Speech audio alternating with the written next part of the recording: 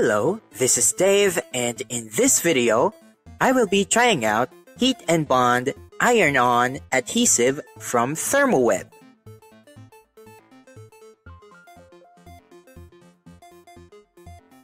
This product is a heat-activated adhesive that can be used to bond fabric pieces together without sewing.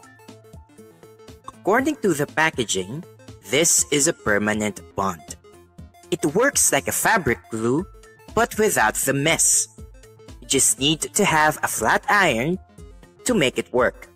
To put it simply, consider it a double-sided tape for fabrics. There are several variants of HeatnBond. The one I have here is the UltraHold variant.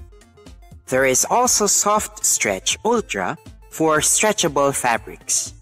HeatnBond also comes in sheet form for bigger appliques. Before I use HeatnBond though, I have to know more about it first. Now let me open the pack.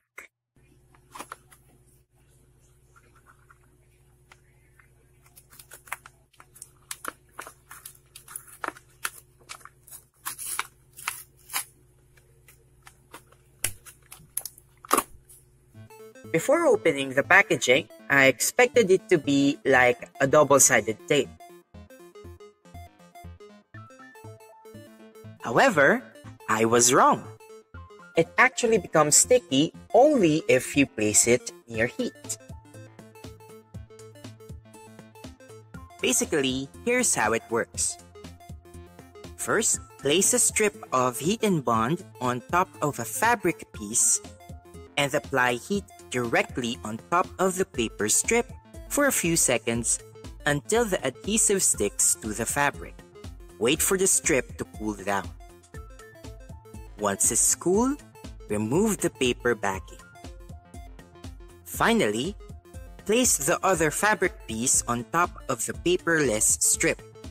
Then, apply heat on both sides until the adhesive sticks them together nicely. For best results, make sure that the fabric is washed without fabric softeners and ironed first. Fabrics with HeatnBond should be washed carefully. Since this is heat activated, you can't wash the fabric in high temperature and you can't iron over the bonded parts repeatedly. Dry cleaning is also not an option. Here are some other things I found out about this product. You can actually cut the fabric applied with HeatnBond using a sharp craft knife or pair of scissors, and the edge of the fabric won't fray easily.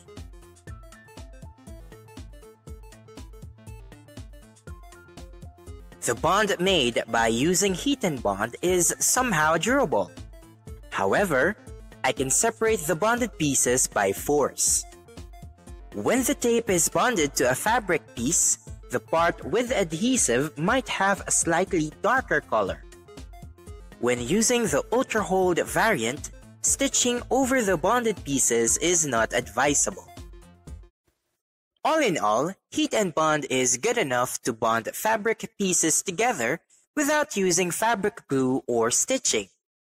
You can do things like repairing holes in clothes, making hems, and adding appliques on top of fabrics.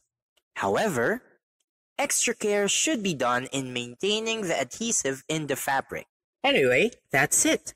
I hope this video helped you understand how HeatnBond works and decide whether or not to buy it. If you have any questions, feel free to type them in the comment section below. Thank you for watching. Now before you leave, don't forget to like the video, share it if you want, and subscribe to the channel to show your support. Thanks, goodbye, and stay crafty.